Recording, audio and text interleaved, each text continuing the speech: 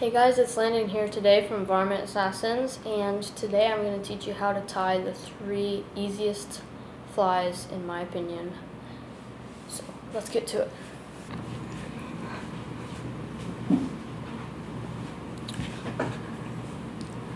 Okay, for hook hook size, I'm just using a normal hook, size 16. Thread, I'm using UTC 70 denier my favorite thread. I use brown, but you can use black too. You can use whatever color you want, but black or brown is the most common.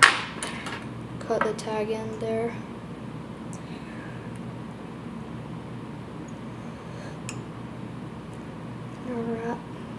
To here. Stop there. Get out your copper wire.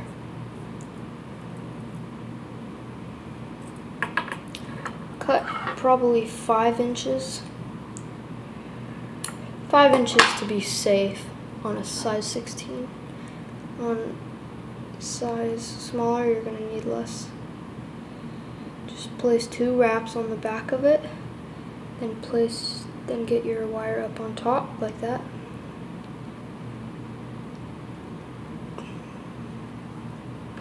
Mine's a little bit over towards me on the side, so can't see it, I'm just wrapping close together.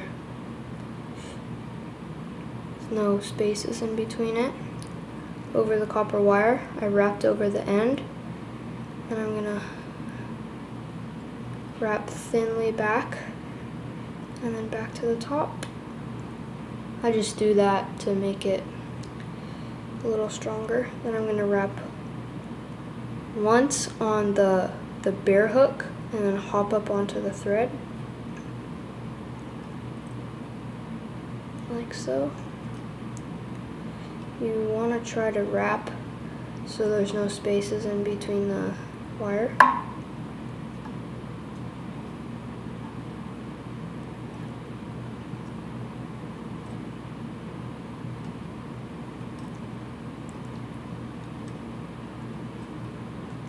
You don't have to wrap as fast as me. I just tie a lot of these because I love them. Then stop about there. That's I'll actually backtrack one wrap. And then I like to put my nail right there and pull it forward. So then it keeps the wraps tight together but you can still pull it forward. Two loose wraps over the top, pull it down.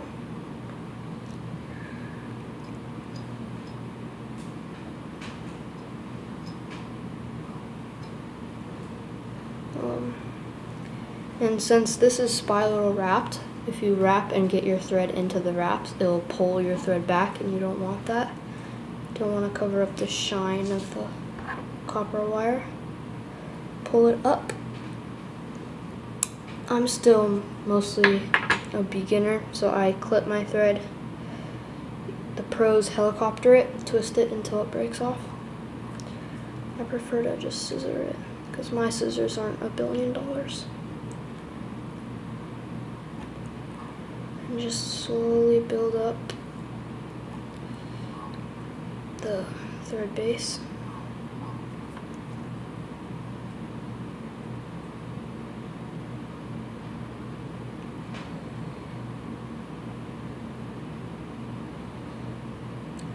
It's a little tricky if you get your thread into the, the wire wraps right there.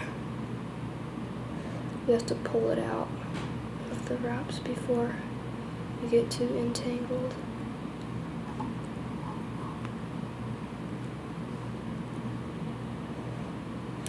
So some threads some threads um, are a lighter brown when you buy brown color I got, this UTC color, is like really dark. So I'm not, I would usually, if I had my lighter brown thread, I would Sharpie it black. Little trick I learned. You can change any color to black. So I just Sharpie it black, but this is pretty dark, so it's okay that I leave it brown. Once you build up a substantial head, you don't want it too big. You just want it bigger than the body. Since I covered up my thread on top, it has like a hump on top of its head. I think I'll build up a little more.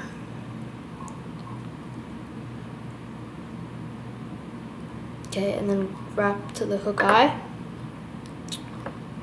Come in with your whip finisher.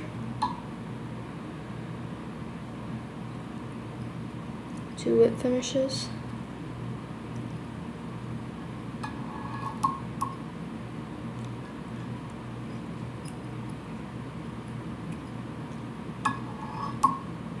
And clip the tag end flush with the thread base. And that is your classic brassie. You can tie it in different wire colors to imitate a lot of different uh, nymphs. So this is a classic, easy to tie nymph that I, I personally love to tie. Okay guys, our next fly is a zebra midge or a black beauty. They're called either of them, but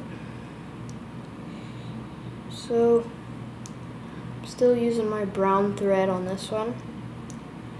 Gonna uh, put I put a very small this size size 16, same with the brassie. Usually time very small on zebra midges. Don't go above size 14. A size 14 would be big. Okay, once you got your bead on there, start your thread. This one's a little bit trickier than the brassie. Still pretty easy. Tag in close. And I'm using a curved hook on this one. You have to on zebra midges, it's just something you need to do. Wrap down until it starts to point downwards. I'm gonna get my small size. Use green. You can use a lot of different colors. You can use the classic copper. You can use silver. Most people use silver. I actually am a fan of the green wire color. So tie it in one wrap then just like the brassie slide it on top and then make a thread base on top. Okay guys sorry I had to stop the video. There was someone at the door. Yeah. So making a gapless so there's no spaces in between it thread base. Then I usually keep my tag end from going over the bead because then you have to clip it. I just get it so the tag end is like right there like you saw me do. Make sure it's all the same size and then right near the bead start to build up so you want it a natural smooth body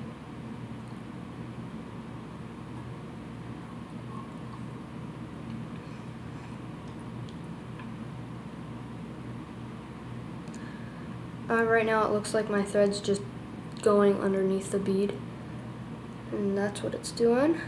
It's stacking up inside of there.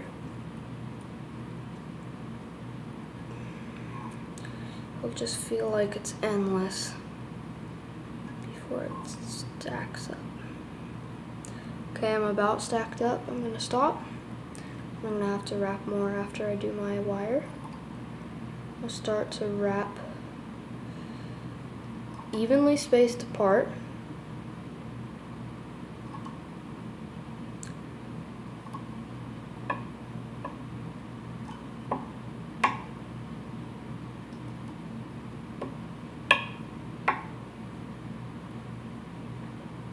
Like that, up to the bead.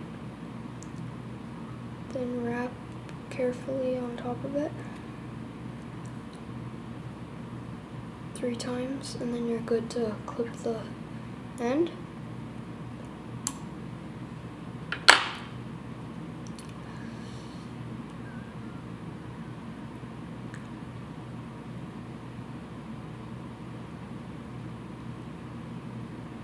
Once you, sorry, I'm just getting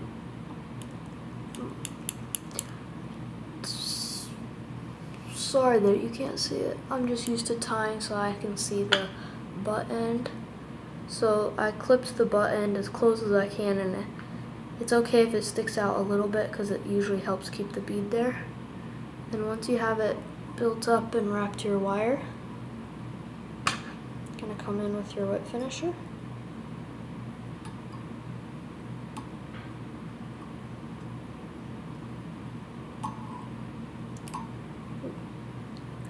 Oh no. Sorry, don't do that. Messed up and my whip finish slid down onto those wire wraps. I know I'm supposed to be your teacher here, unless you're just watching this for tips. But I messed up. That's probably the first time I've done it, not kidding. Careful, make sure it doesn't slide down onto the wire wraps again. Um, pull tight, then clip as close as you can, clip your thread. Then I'm gonna get some head cement and bodkin. I don't have the best can of head cement. I wanna get one, one with the dripper bottle.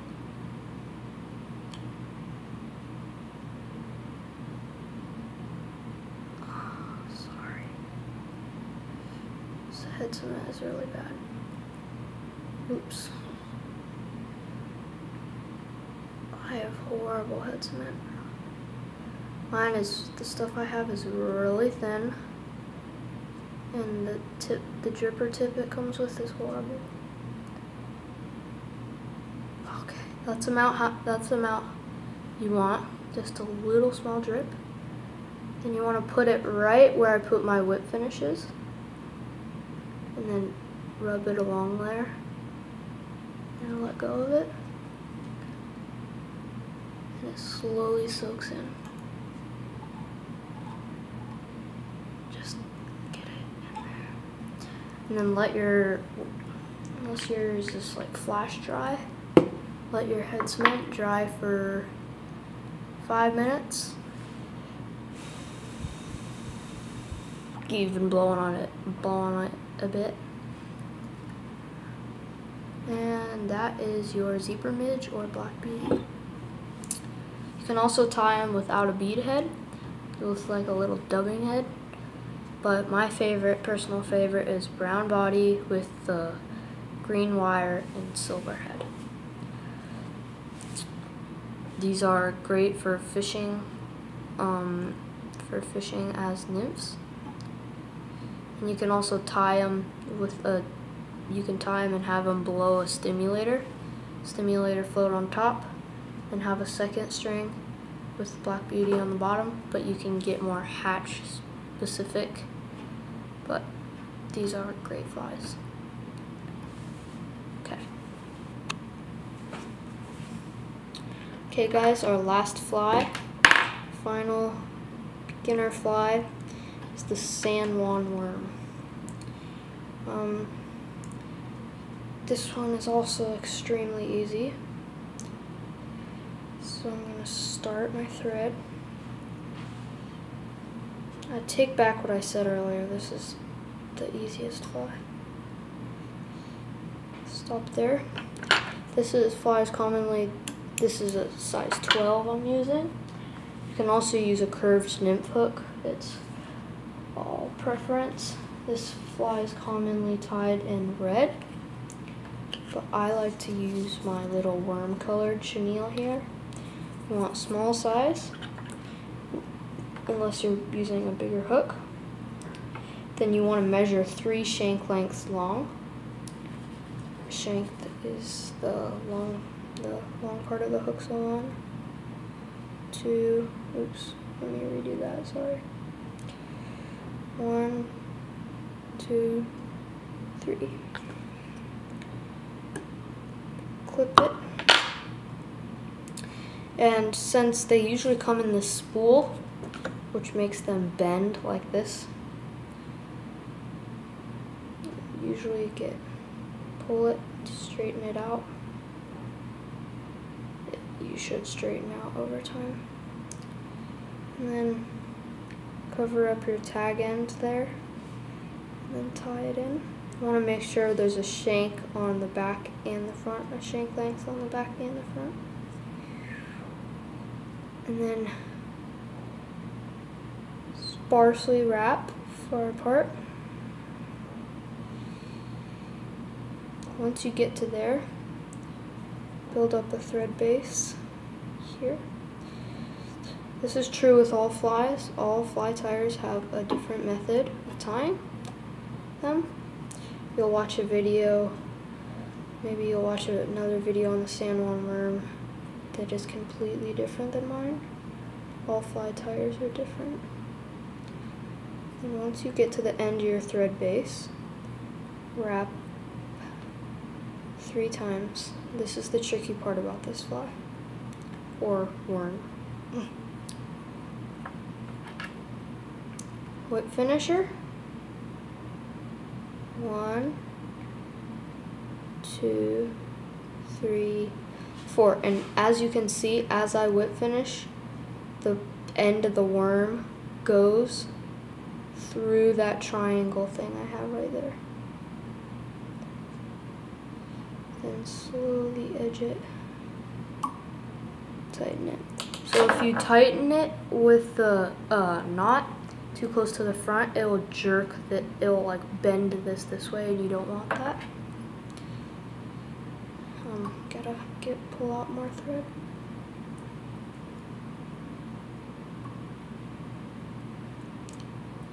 And tip of the worm goes through the triangle, has to go through. And if you're tying red, you definitely want red thread. If you're tying a red San Juan worm, you definitely want red thread.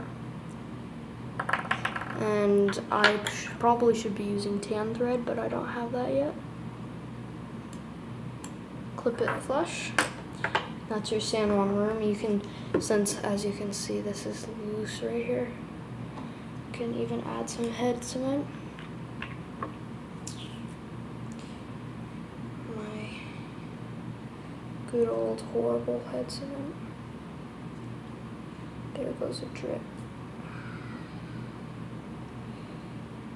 Don't get this head cement, whatever you do. Don't get this head cement. It's horrible. Okay, get, that's about the standard size drop for head cement. Try not to get it to fall off. Then you just want to put it right where that whip finishes. Spread it along, just like that. And then put your cap on your head cement. And then, just like the other fly, the zebra midge, you can blow on it and then just let it sit for a minute to five minutes and then your head cement should be dry by then. And there you have your San Juan worm. As you can see, I tied it in a little bit weird. I have a little bit more on the front end and it should usually be the opposite. You want a not not a lot more, just a little bit more on the back because this right here is the heaviest part. This chunk right here is the heaviest, so you want more on the back. I'm going to trim off a little on the front. Alright, thanks for watching, and I'll come back with more fly tying videos, and hopefully some squirrel hunting.